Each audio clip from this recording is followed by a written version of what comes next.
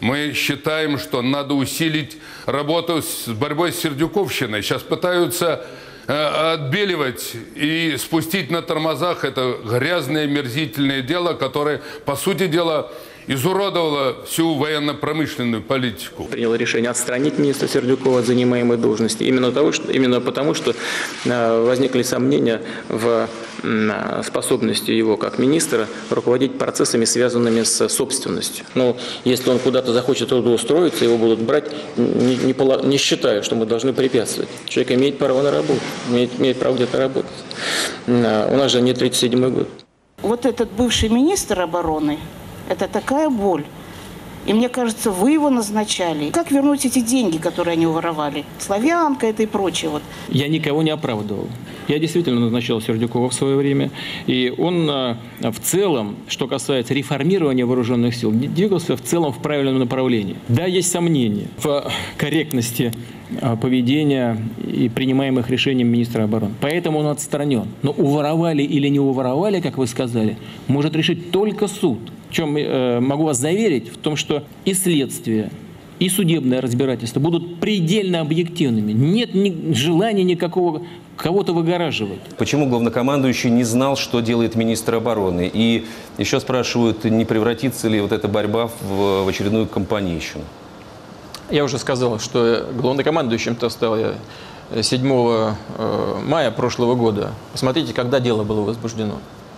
Так что, как только я начал знакомиться с делами, как только мне показали, в том числе и показали э, результаты э, работы счетной палаты, стало ясно, что одной счетной палатой там не обойтись, ее недостаточно, и нужно подключать правоохранительные органы. Материалы тут же были переданы в прокуратуру и Следственный комитет.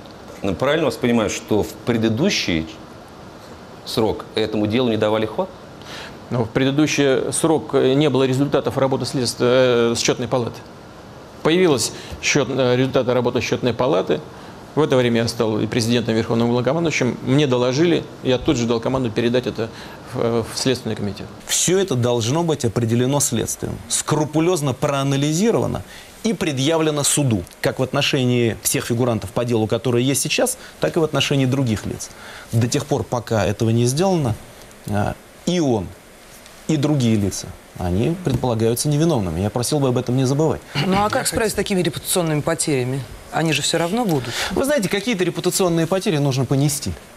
Ничего в этом страшного нет. Потому что все время говорить о том, что мы белые и пушистые, тоже нельзя.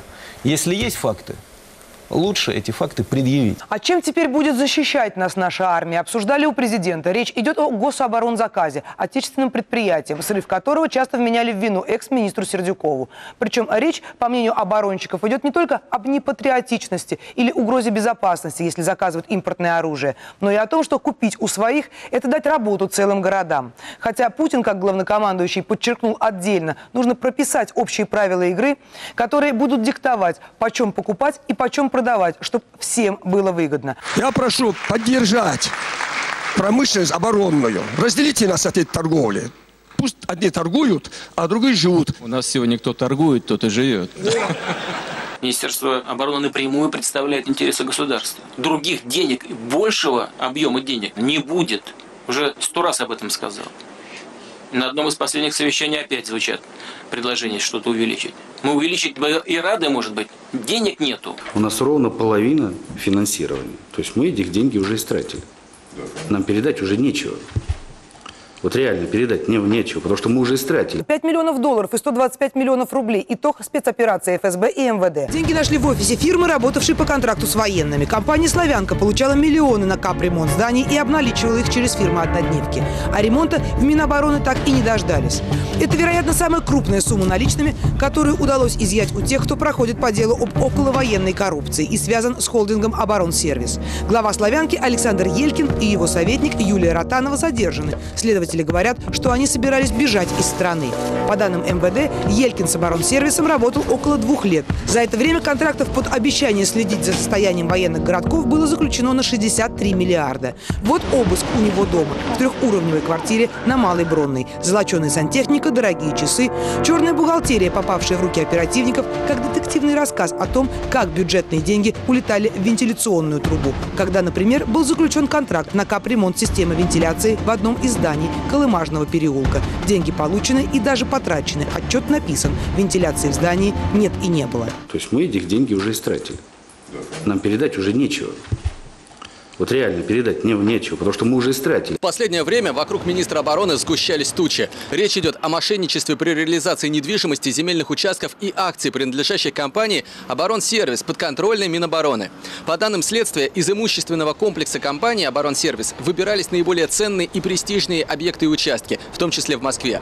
Затем в эту недвижимость вкладывались огромные бюджетные средства, а после собственность продавали по существенно заниженным ценам. Покупателями, как утверждают в Следственном комитете, были коммерческие структуры, аффилированные с компанией «Оборонсервис». На фоне всех этих событий президент принял решение отправить Анатолия Сердюкова в отставку. Новым министром назначен губернатор Подмосковья Сергей Шойгу. Для того, чтобы создать необходимые условия для объективного расследования всех вопросов, которые возникли в этой связи, мною принято решение освободить министра обороны Сердюкова Анатолия Эдуардовича от занимаемой должности. Вместе с тем, в последние годы немало сделано для развития вооруженных сил, для решения социальных вопросов военнослужащих, имея в виду и повышение денежного довольствия, и решение жилищных проблем. В 18 коттеджах санатория, профилактория Подмосковья, который принадлежит ФНС, жили сотрудники Министерства обороны, в том числе, кстати, и бывший министр обороны. Следователи провели обыски, и в рамках этих обысков, естественно, обнаружили предметы и документы, имеющие отношение по делу. Тут где-то есть коттедж Сердюкова. Не знаете, где они? Знаю. А не покажете нам? Покажу. Живописные берега Пяловского водохранилища частично сдали в аренду. На территории санатория выросли элитные дома, чистейший воздух, сосновый лес. Территория охраняется. Будет забор, вон там. Арендовала коттеджи известная фирма «Безопасность и связь», во главе которой соратник Васильевой арестованный Елькин. В деле таким образом появилась новая формулировка «организованная преступная группа». Среди подозреваемых, впрочем, в количественном выражении лидируют женщины. Именно женщины, по некоторым данным, многое решали и в самом Министерстве обороны. Понимаешь, мне нужен кто сможет понять и увидеть во мне целый мир. Одна из них, самая красивая, так ее называли, уволилась, молодая и, видимо, талантливая. Марина Чупкина, возглавлявшая аппарат директора спецстроя России, сможет посвятить себя творчеству. Опереться на Можно ли в 27 лет стать вторым человеком в Главном управлении международного военного сотрудничества? Это на минуточку поважнее разведки. А руководителем департамента образования в Минобороне, не преподавая ни часу, а заправлять энергетикой отрасли вот так с кондачка. Раньше, отвечая на такие вопросы, мы простерялись, но сейчас говорим смело. Можно. С приходом Сердюкова, вы знаете, он привел с собой большую команду. Первый его приход – 23 человека. Все это топ-менеджеры, менеджеры, большинство из них это милые, симпатичные молодые женщины. Короткая биографическая справка. Вот, например, Екатерина Приезжева. При Анатолии Сердюкове руководитель департамента образования Минобороны. До этого работала начальником отдела контроля за оборотом алкогольной продукции в Питерском комитете, потом в налоговой инспекции. В Минобороне среди подчиненных получила милую кличку в честь домашней собачки. Это за то, что, не имея опыта в сфере образования, вела трехуровневую баллонскую систему с бакалавриатом и магистратурой. Это повлекло резкое снижение качества подготовки офицеров. Приезжего хорошо овладела специальной терминологией, но внятно обосновать суть и цели реформы так и не смогла. Ольга Харченко, 26 лет. Сидела в кресле руководителя департамента жилищного обеспечения. Запомнилась многим только по прозвищу, тоже кинологическому «Дама с собачкой». Появлялась на совещаниях с маленьким щенком на руках. В итоге уволилась через год с выходным пособием 15 миллионов рублей. Татьяна Шевцова была назначена замминистра в 2010 году. С ее именем военные связывают многомесячные задержки зарплат. Из-за этого за чиновницей закрепилось неприятное прозвище. Вот эта 27-летняя девушка ну, сидит в короткой юбочке, игрушка такая, зайчик, пушистенький на коленочках, вот этим занимается. Мы последние магиканы. Вот мне 60 лет, Владимир Ильич, я чуть старше вас. Мы уходим. А после нас, вы знаете, никого нет. Летчиков-испытателей нет в России. Нету. Анатолий Сердюков по-прежнему свидетель. И у него трудная задача засвидетельствовать, что свидетелем исчезновения из военного бюджета миллиардов министр обороны не был. Впрочем, официальный представитель Следственного комитета говорит, что процессуальный статус многих свидетелей по делу может быстро измениться. Принцип тот же. Неприкасаемых нет. Но это же не только экономика, это же высшие эшелоны власти, называя вещи своими именами. Ну, я еще раз повторяю, если вы думаете, что а, для следствия есть какие-то препятствия, э, кто является э, фигурантами уголовных дел, вы ошибаетесь. Не надо политизировать уголовные дела. У нас Следственный комитет занимается расследованием обычных уголовных дел. В наших уголовных делах нет и не может быть политики.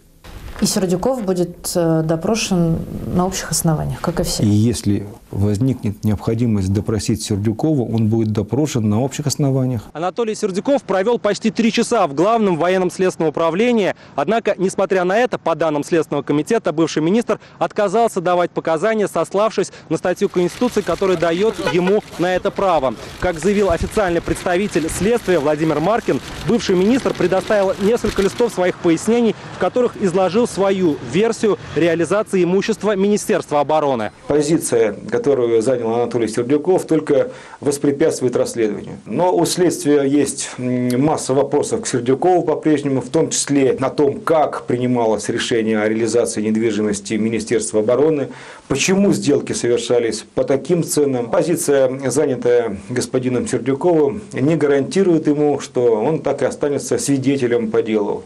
Вполне вероятно, что его статус может поменяться. Занимаясь расследованием этого дела, Владимир Владимирович, я столкнулся с парадоксальной проблемой. С одной стороны, десятки и сотни высочайших профессионалов добыли факты, доказательства, свидетельства, документы, которые непровержимо доказывают вину этих мошенников, пригревшихся в структурах Министерства обороны.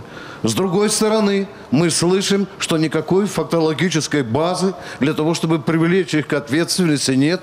А некоторые фигуранты до сих пор ходят в статусе свидетеля. Э, народ говорит, что какая-то сильная, могучая, тайная рука манипулирует расследованием этого громаднейшего уголовного дела и просила вам задать вопрос, вы не знаете, чья это рука. И второй вопрос. Как вы, Владимир Владимирович, как гарант нашей Конституции, видите свою роль том, чтобы расследование вот этой кучи уголовных дел, расследование и по оборонсервису, и по Васильеву, по Сердюкову шло в нормальном, честном, открытом, принципиальном русле, а не превращалось в какую-то пародию, над которой смеется народ. В заключение моего выступления позвольте выразить уверенность, что в отличие от Сердюкова, отвечая мне, вы не прибегнете к 51 статье нашей Конституции. Спасибо. Виктор Николаевич, я очень дорожу вашей поддержкой э, в качестве, в качестве моего доверенного лица. Знаю, что вы человек, который болеет за страну, за армию. Э, но вот вы э, сказали по поводу того, что факты доказывают вину всех вами перечисленных лиц. Вину, да. Доказывают эти факты вину, кого бы то ни было, или не доказывают, может определить только суд. Но в чем вы абсолютно правы. И я, я в этом абсолютно не сомневаюсь. Дело будет доведено до конца. Но это совсем не значит, что мы должны из политических соображений, для того, чтобы красиво выглядеть перед возмущенными гражданами, любой ценой засадить их за решетку – но не надо нам возвращаться к этому мрачному периоду 1937 года. Дело Сердюкова только началось и теперь превращается в какой-то затяжной анекдот. Параллельно с этим суд 17 числа в Кирове по делу Навального. То есть здесь мы долго-долго не можем дойти до суда, тут опаньки, сразу суд. Как объяснить обществу, что это не компанейщина по борьбе с оппозиционерами, а действительно, как вы сказали, закон превыше всего? Э, Почему по Навальному суд быстро, а по Министерству обороны суд долго? Ответ очень простой, потому что э, объем деятельности Навального вряд ли можно сравнить с объемом деятельности в рамках Министерства обороны. Но Сердюков до сих пор всего лишь свидетель. Сердюков свидетель. Он же не обвиняемый. Вот это и пугает. Почему? Вы считаете, что он априори должен быть Нет, не обвиняемым? априори. Просто возникает тогда вариант «плохо видел». Если каждый день выясняются новые миллиарды хищений от человека, который подписывал бумаги, никак не мог разглядеть, что подписывает, то в любом случае это он свидетель чего? Свидетель или, как говорят классики, на шухере стоял? Вот этим как раз и занимается следствие. И если он до сих пор не является обвиняемым, значит до сих пор в руках у следствия нет необходимого количества аргументов, которые привели бы к- изменению его статуса. Обратимся к тем, же, суда? к тем же словам президента относительно того, что сейчас не 37 год. Возможности по уничтожению новой плеяды коррупционеров, видно, сильно ограничены, учитывая, как долго идет следствие по Сердюкову, и учитывая, что до сих пор некоторые фамилии так в воздухе витают, но никогда не проявляются.